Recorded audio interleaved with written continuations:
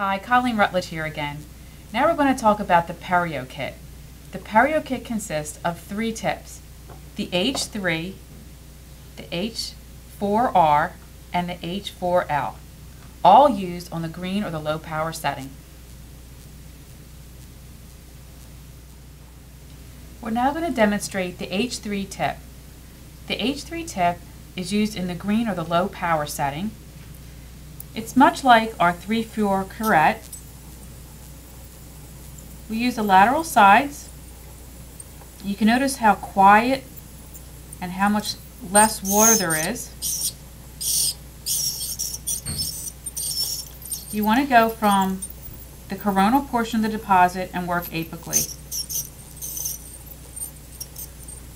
The last two or three millimeters of the tip is what is the active portion.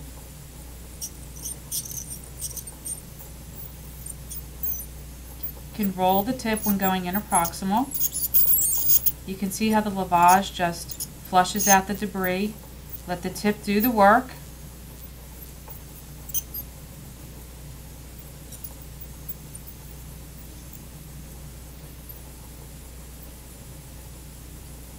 Use sweeping motions.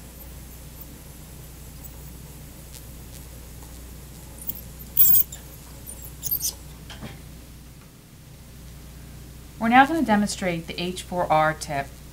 Notice before we start you can see the drop-by-drop -drop irrigation. That makes it so much easier for um, visibility when you're working and you won't be drowning your patients. Uh, they really do appreciate that because with magnetostrictive, they were always used to so much water that um, it's really nice when they have this drop-by-drop -drop irrigation. And again, it's easier for us to see.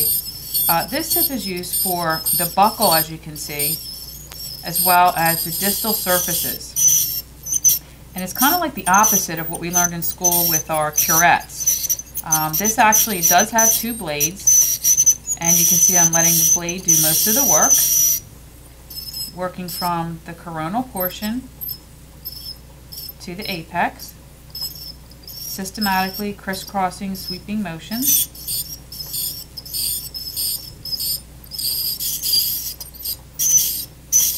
And because of the long shank and the rounded toe, you have less tissue trauma and also greater access to deeper pockets going down as far as 5 and 6 millimeters and you're able to remove tenacious deposits. It does shave off the calculus. Let the tip do the work.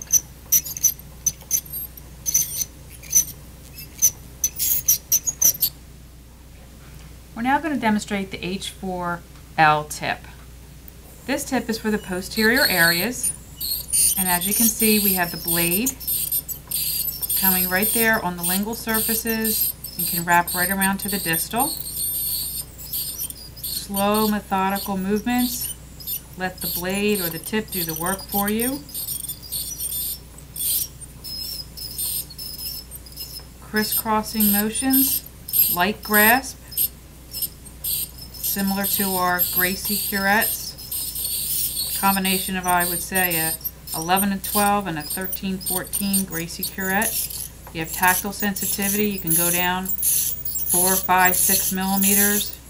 Stubborn subgingival calculus. And remember you're working with blades on both sides.